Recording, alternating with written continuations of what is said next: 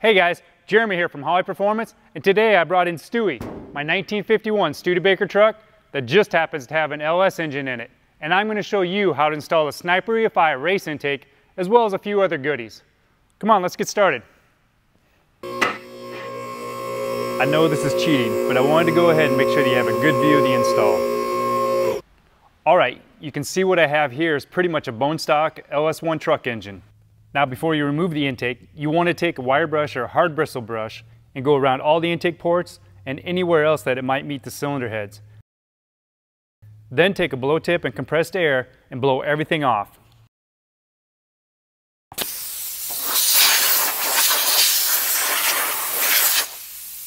This prevents you getting any debris down into the intake ports when you remove the intake. Once you've got the area around the intake ports clean, you'll need to remove all the electrical connections, any connections to sensors, vacuum lines, and anything else that might impede you from being able to lift the intake off from the engine itself. Last but not least, you'll need to disconnect the fuel lines. It's pretty straightforward. Most factory fuel connections will require a special fuel line disconnect tool. You can purchase or sometimes even rent this disconnect tool at your local auto parts store.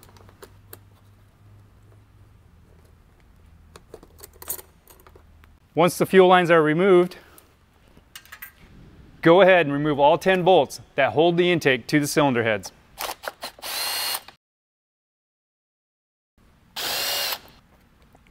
Once you're sure everything is disconnected, lift straight up and remove the intake. All right, now once you have the intake removed from the engine itself, you'll need to make sure that there's no debris or gasket material left on the head surface. To do this, it's best to shove a rag down into the intake port itself and then once again, you can either take your brush or even a razor blade and some solvent and you'll need to clean around the intake ports completely.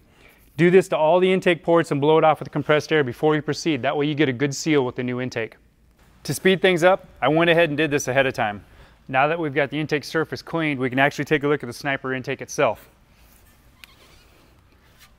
First thing you'll need to do before anything is test fit it on your engine. That way we can make sure the intake ports line up and all the holes line up with the holes in your cylinder heads. One issue you might actually encounter, which we did here, is that the factory hard line from the steam tube interferes with the intake port flange. There's a couple of ways you can go about resolving this. You can carefully pry up on the hard line with a screwdriver till it clears the flange. Or you could purchase another kit through Earls. We actually have a couple of different kits available for this system. I was able to use my screwdriver and pry up on the tube to gain enough clearance to clear the intake flange. Once again, just go around and check and make sure everything's seated completely. You'll need to verify that all 10 holes for the intake line up with the holes in the cylinder heads. If they don't, you may have to oblong or ream the holes a little bit to allow the bolts to clear. All right, now that we've verified that the intake fits, we need to go ahead and install the intake runner O-rings for the LS engine.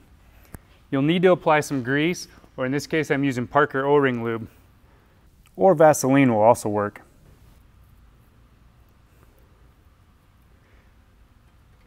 And install one into each of the grooves on the intake runners. Good. All right, once you have all eight of the O-rings installed on the intake runners, you need to locate the package that has your vacuum fittings and determine which ones, if any, you actually need to use. There's four ports located in the bottom of the intake. If you're going to install these, make sure and use some PTFE paste. If you're not going to use them, you need to go ahead and put plugs in them now. Go ahead and apply a generous amount of PTFE paste to the threads and work it in with your finger.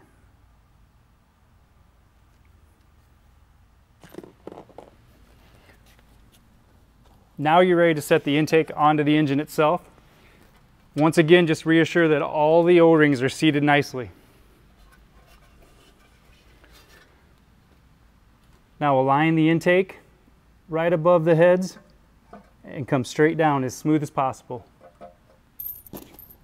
Now install the included bolts and washers that are supplied with the intake kit. The intake is held on by 10 bolts, but not every hole in the intake will have a threaded hole below it in the cylinder head.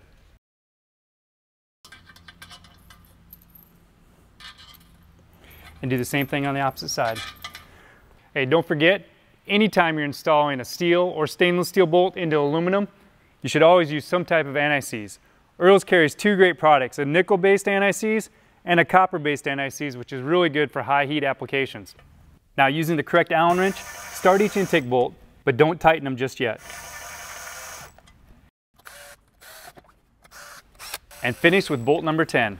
All right, once all 10 intake bolts are cinched down lightly, go ahead and grab your inch pound wrench and the instruction sheet. In the instructions, you'll find a torque sequence for installing the intake, sequence of events on how you need to torque down the intake itself. You'll start in the center or number one position and work your way outward in a crisscross pattern. You'll have to repeat this pattern twice though. The first pass will torque to 44 inch pounds, and on the second pass, we'll have to retorque to 89 inch pounds.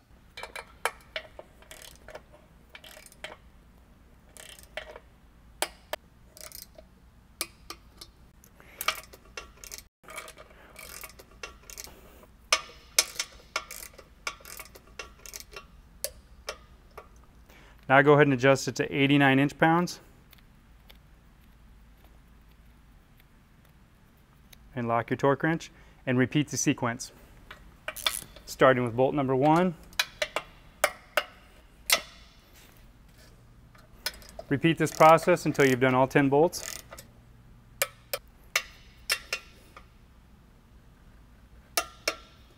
Now that our sniper intake is torqued down to the engine correctly, we can go ahead and start installing our fuel rail kit. In the bottom of your sniper intake box, you'll find a box underneath the false floor that has your fuel rails, our crossover tube, some AN fittings, installation hardware, and the actual mounting brackets for the fuel rails themselves. Before you go any further though, you need to go ahead and get your fuel injectors lined up. You'll need to apply some Vaseline or O-ring lube to the O-rings on your injectors. Install all eight injectors by firmly pressing them down into the port of the intake. Make sure that you don't pinch or damage the O-rings as you install them.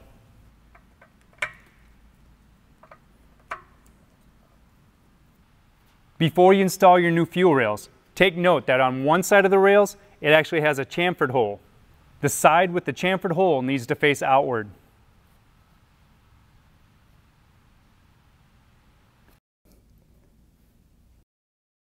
Go ahead and repeat the process for the other side. Line up your injectors and press down firmly. Now we need to install the six mounting brackets that will actually secure the fuel rail to the intake manifold itself. Take the corresponding bolt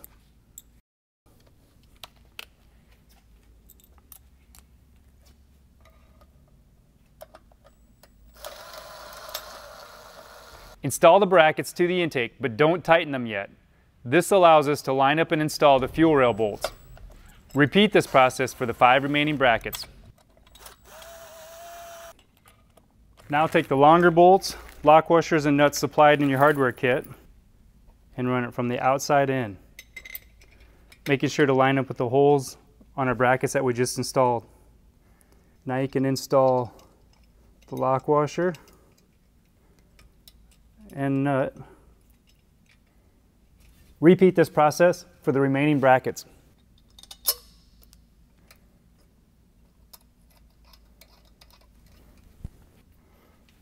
Now you can go ahead and tighten up the bolts.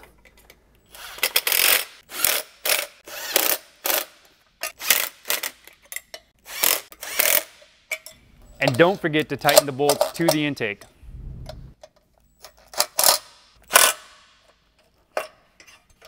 All right, now you can take your AN fittings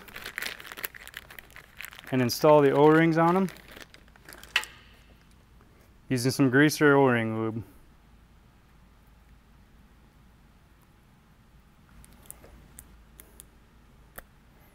Applying a couple of drops of oil to the fitting threads will help prevent galling.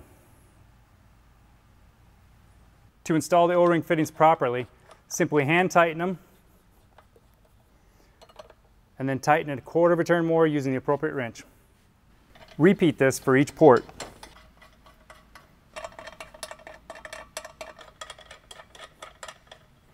Tighten each one.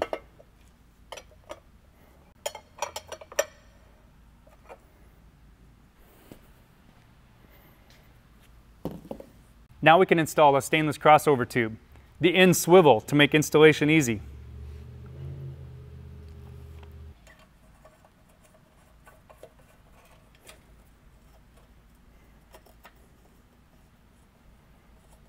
Once you've got positioned, you can go ahead and tighten them down. The only thing left to do now is install the injector harness and make your necessary fuel line connections.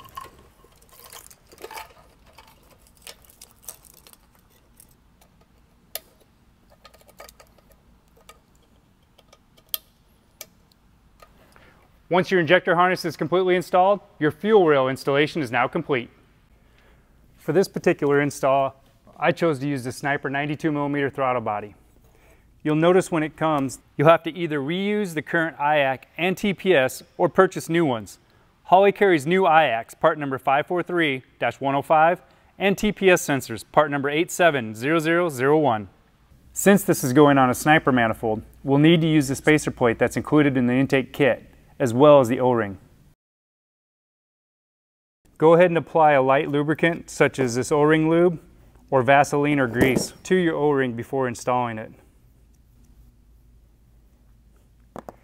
You may have to purchase four new bolts if the bolts in the kit aren't long enough to use with your spacer plate. First, install the O-ring into the groove on the intake. Make sure it's seated well. Then you'll need to take the throttle body spacer and the throttle body. Make sure on your throttle plate spacer that the O-ring faces the throttle body and the O-ring on the intake will face the spacer. You can take one of your bolts and position it and then start it by hand followed by the next three. Just hand tighten them for now.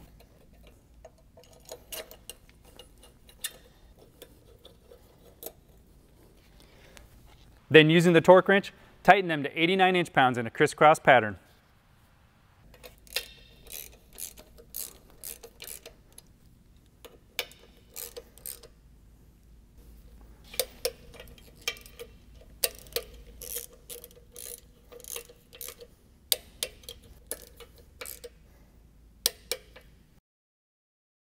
Now we can install the throttle position sensor and the idle air control motor that we talked about earlier. I'm using new parts from Holley. It's always a good idea to put a little bit of grease or O-ring lube before installing and then secure it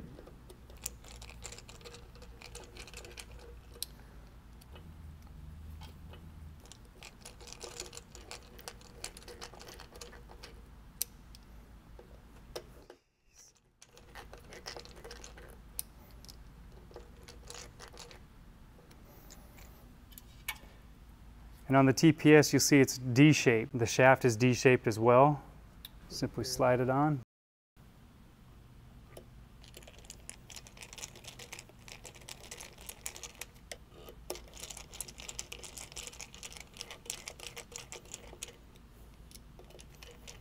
All that's left to do now is route your throttle cable, connect the PCV hose, make the connections at the sensors, and you'll need to install an elbow and intake with a filter, of course.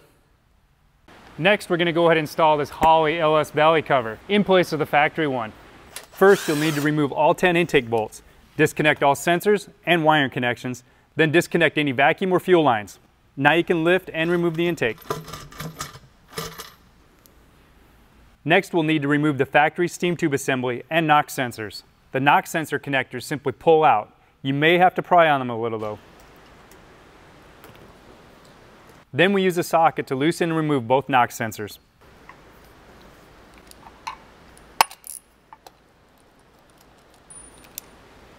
Now loosen the four bolts that are holding the factory steam tube assembly to the engine block and remove it.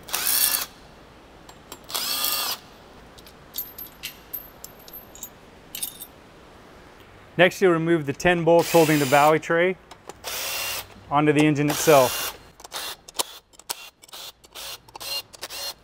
And you may have to pry this off. Once you have the assembly removed, you'll notice that there's a gasket below the cover. You may be able to clean and reuse the gasket if it's still in good condition. So I'll go ahead and remove all the bolts and I'll keep our gasket. We'll go ahead and clean it up before we put it on the engine. Now we can grab our Holley LS Trust Valley cover. Make sure and clean the mounting surface just like you did the gasket. I already placed the gasket on there, so all you need to do now is set this on top. line up the bolt holes, and either install new hardware or in this case the hardware that we pulled from the original. It's always a good idea to start in four corners and make sure everything's squared and lined up before you proceed.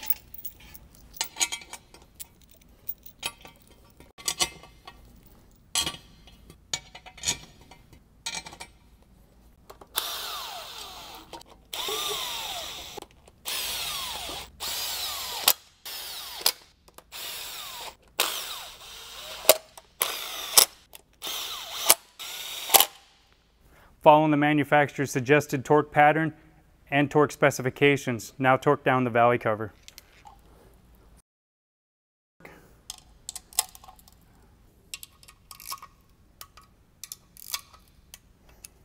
While we're at it, I'm going to go ahead and replace the LS hard steam lines with one of these kits from Earls. We're actually using Earl's steam tube adapter kit with the SpeedFlex hose. It's fairly simple to install. I'll show you how to do it. You'll need to take the steam tube adapter. Be sure that the O-ring is facing down towards the engine block and it simply slides up into there.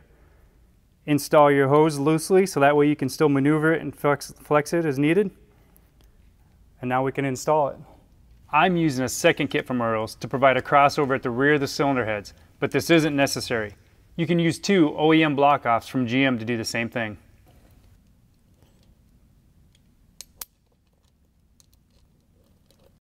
The front crossover is assembled just like we did the rear. Install the SpeedFlex onto the Earls adapter. Now on this side, you'll see that the adapter has a male Dash 3 fitting. This is for the hose that returns coolant to the radiator. It has an O-ring on both sides since coolant flows through it. Line up the adapters, install your hardware, and then tighten them all. These aftermarket steam tube kits offer more routing flexibility and they look a lot better too.